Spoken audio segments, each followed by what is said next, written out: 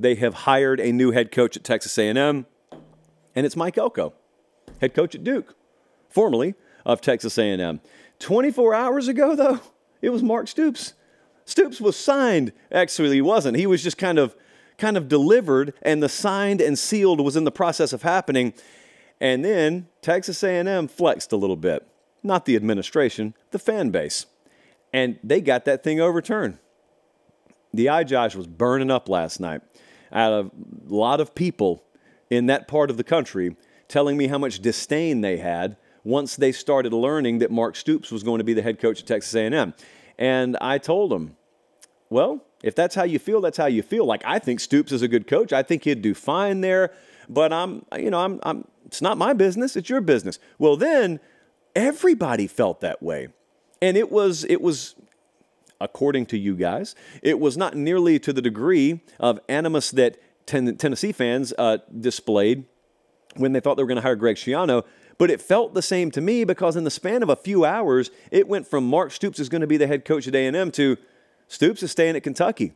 You guys got that overturned, just like Tennessee fans did back in the day. Now, they went on to hire Jeremy Pruitt and it torpedoed their program. You went on to hire Mike Elko a day later, and the results are to be determined here. I think Mike Elko is going to be okay, though. I like Elko as a hire more than Mark Stoops, and I would have been fine with Mark Stoops. Um, you haven't had a high-level CEO running Texas A&M football in quite a while. And if I don't know anything else about Elko, I know you got one in him. And you may think to yourself, well, how can you say that about Jimbo Fisher? I mean, isn't the head coach the CEO of the program? Well, he's supposed to be. It just it was never a comfort zone. It was never the way that anyone around Jimbo Fisher would describe him. In fact, they would describe they would actually quite the opposite. They describe him as unorganized. Uh, they would describe him as a guy who needed a CEO type around him because he wasn't that. Everyone has strengths and weaknesses.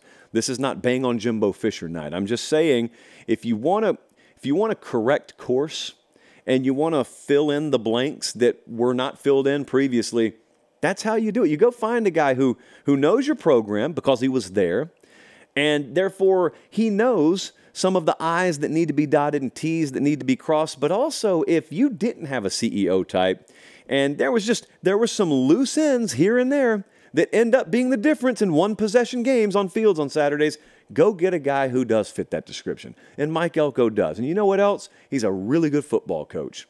And I would challenge you to find anyone who suggests otherwise. Uh, I've had some points of contention on this. Not many. Now, I'll grant you, most A&M fans seem to like this hire. I've actually had more people from the outside uh, talk about how they don't think it's flashy enough. And to that, I just say that's not a serious football related point. I could. I just don't care. Uh, Flash wins nothing. I'll give you an example. You know who made a flashy, splashy hire recently? USC did. USC is sitting at home nowhere close to the Pac 12 championship game this weekend. Now, that may change in the future, but USC won the press conference. You, they got a ton of coverage on this show. You go and take Lincoln Riley from Oklahoma, and he's your head coach. Man, that's, that's the old Grand Slam. That's the fabled Grand Slam hire I'm about to talk about in a second. Well, what did it get you? So, had USC hired Mike Elko, oh, it would have been slammed. This isn't this isn't Southern California. This isn't Los Angeles. You gotta you gotta make a splash. You gotta resonate. No, you gotta win. That's what you have to do. Winning cures everything. Well, you gotta have a fit, don't you, Josh? Yeah. The right way to fit at Texas A&M or USC or anywhere else is win. Don't care if you've ever worn cowboy boots before. Don't care what your accent is. I care that you understand how to build and sustain an organization. I care that you understand how to acquire and develop talent. I want to know that you understand how to run a major program and deal with a lot of the off the fields that come with that. I want to know that you're structured. I want to know that you get how to promote and market properly and not just say, oh, let's do some social media stuff and I want to know that you can hire a high level staff and have a singular vision. That's what fit is at Texas A&M or anywhere else. Second thing that I've been asked sarcastically by a lot of people. I've been asked by a lot of people, well, now that they hired Elko, and it was him after Stoops blew up, those aren't A list tier one kind of names. you must have been wrong in your assertion that this is a tier one job. Well, uh, hey, I could be wrong about it. But if you're asking me if I think this proves my opinion wrong, uh, blank, no, it doesn't. Look at me self censoring. No, it doesn't. No, I think everything I thought about the value of the A&M job. It's just I think you're chasing a unicorn when you imagine what a tier 1 job being open is actually like. I think Georgia's one. I think Ohio State's one. I think Oklahoma's one. I, I do think A&M is one. I mentioned those programs because let me ask you something. They've all hired coaches semi recently. Where were the Grand Slam hires? The Grand Slam doesn't happen.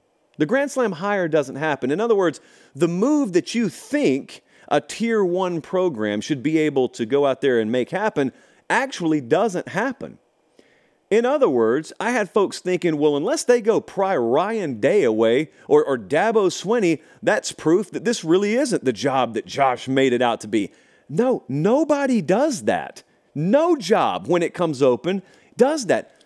You start, you start calling BS on me here. I'm going to ask you list the Grand Slam hires. And by Grand Slam, I mean a program that went and got an already established championship caliber coach to come to their program. List them. You got Bama a decade and a half ago. They got Nick Saban. Keep listing them. Keep going. Don't, don't give me Kirby Smart. Dude had never been a head coach a day in his life when Georgia hired him. Don't give me Lincoln at Oklahoma. Ditto. Don't give me Lincoln at USC because he hadn't done anything there.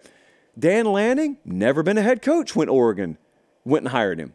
They're all taking chances. These aren't Grand Slam hires. What about Dabo? What about Dabo? Dabo had never even been a coordinator at Clemson before they elevated him. Keep going. Steve Sarkisian could be in the playoff. Sark had been a head coach that failed multiple times and had to beg for a job as an off field guy at Alabama to even get back in, in, in, any kind of standing that would get him a job down the road.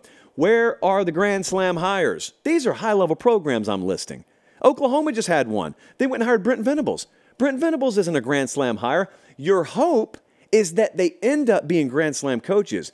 My point is, I remember when these guys were hired. I remember all the list of the dream candidates, and they didn't come true because the Grand Slam hire doesn't happen as you define it.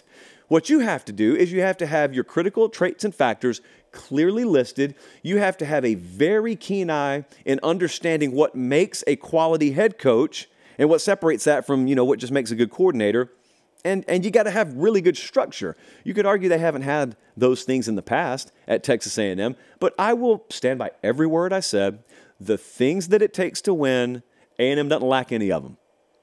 They may have once upon a time, they don't now. It's just there is no such thing outside of LSU getting Brian Kelly. I will grant you that that's a Grand Slam hire if you define Grand Slam by getting a guy who has a championship caliber past. He didn't win a title at Notre Dame, but he had them at a consistently high level. I will grant you, if you want to tell me Michigan landing Jim Harbaugh was a Grand Slam, I will grant you that. They went to the NFL to get him. And he's a Michigan guy, so there was kind of a unique inroad there. Outside of that, where are they? It's Nick Saban. That's who it is. Alabama pulled it off. And then everyone started to think, oh, that's what we'll do if our tier one job comes open. That's not the way it works. It's not, I know you think you dunked on me with that one. This is not the flex you think it is.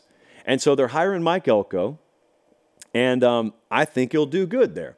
For all I know, he will be a Grand Slam hire. It's just that if he is, you won't know immediately.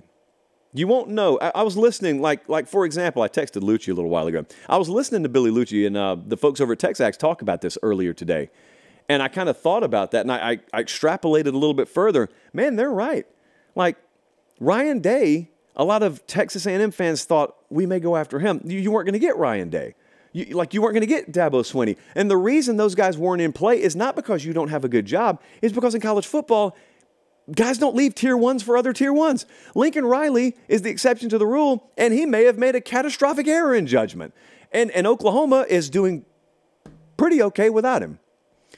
Um, so, congratulations to Mike Elko, and congratulations to you guys who have a head coach now. I'll be excited to hear that press conference. Excited. I, look, Mike Elko's not a win the press conference guy. I think he'll win the press conference too, though. So I think it'll be, um, I think it'll be all thumbs up out there.